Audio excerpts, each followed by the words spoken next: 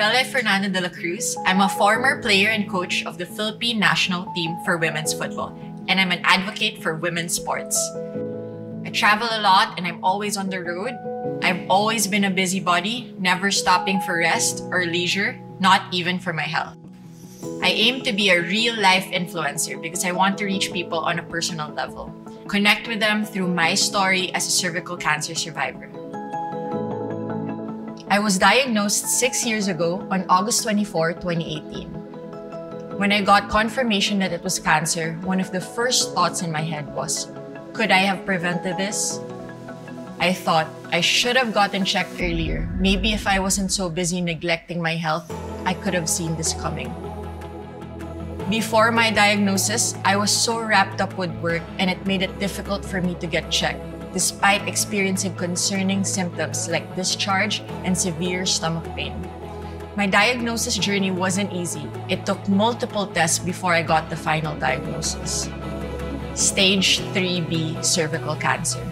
As someone who had a close personal experience with cancer because my mom got diagnosed with stage 4 colon cancer back then, I knew that an advanced stage 3B can be scary. I took it hard and I broke down. They gave me all the resources and support needed throughout my journey so I was able to focus on getting well. They made sure I was as comfortable as possible, and I couldn't have asked for a better support system than them. I went through a lot of difficult moments. I got hospitalized for a month because of complications. But perhaps the hardest challenge I faced was realizing that cervical cancer changed my body so much that I could no longer do what I love, which was sports.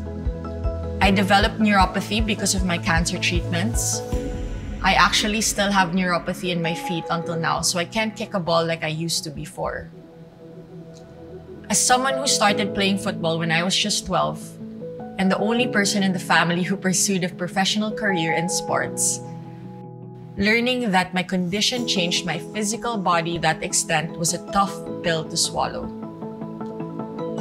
Sometimes, I wondered if I didn't put off getting checked or if I had known and had gotten vaccinated, then maybe I wouldn't have gone through the same situation.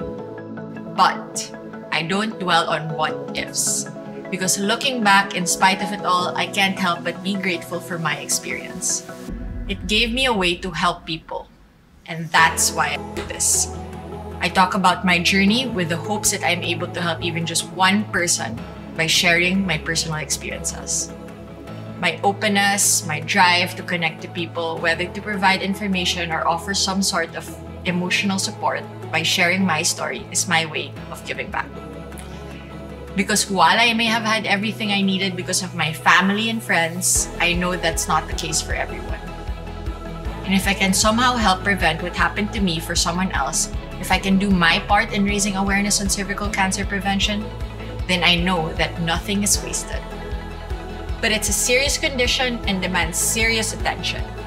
Even though it's a preventable cancer, 12 women in the Philippines still die from cervical cancer each day.